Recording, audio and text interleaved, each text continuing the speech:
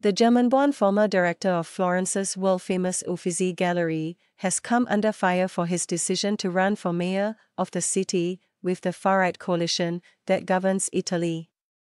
In what could be a major blow for the left.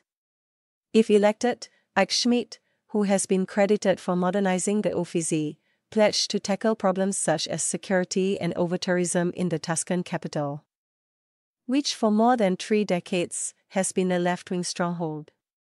The announcement that he would compete as a candidate in the June election with an alliance comprising the Prime Minister, Giorgia Meloni's Brothers of Italy. The League and Forza Italia ended months of speculation. Schmidt said, since July last year, when it emerged that my second mandate as director of the Uffizi was not renewable. There were Florentines who stopped me in the street and encouraged me to run for mayor. I asked them what needs to be done better and what their problems are, and, over time, collected a whole series of observations. I know that Florence has great challenges, from security to over tourism, but degradation and safety are the main ones. Schmidt left the Uffizi in December to take on a four year posting as director of the Capodimonte Museum in Naples he said he would request permission from the Ministry of Culture for leave from the role in order to campaign in the election. If he wins, he would have to step down, but in Naples objections are mounting against his return to the job if he loses. Gaetano Manfredi, the city's mayor, told the Italian press he was perplexed by Schmidt's decision. Returning to the role after an electoral campaign that will certainly be bloody means Schmidt would lose the value of impartiality that Capodimonte's authority demands, he said. Vincenzo De Luca, the president of the Campania region, said he considered Schmidt's move offensive for Naples, for Campania, and for the world culture in our country.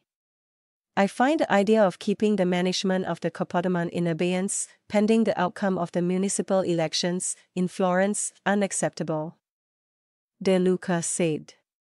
Schmidt's candidacy in Florence spells a genuine challenge for the left wing parties, which in recent years have lost ground to the right wing coalition in several key towns and cities in the wider Tuscany region.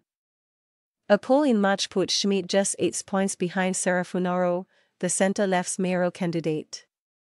Giovanni Donzelli, a politician with Brothers of Italy, said Schmidt's candidacy was bad news for the left. That he is running with the right wing coalition is somewhat ironic given the group's often explicit antipathy in the past towards him and other foreign directors of Italy's key cultural institutions. Italy's culture minister, Gennaro Sangiuliano, who last year said he found it strange that so many foreigners were in the top jobs, described Schmidt's candidacy as an act that strengthens the unified spirit of Europe. In December, when asked about his political leanings, Schmidt told La Repubblica that he considered himself more as an Aristotelian centrist than a representative of the right. He added, I'm a Democrat and anti fascist. I won't back down on this, even if I decide to run for mayor.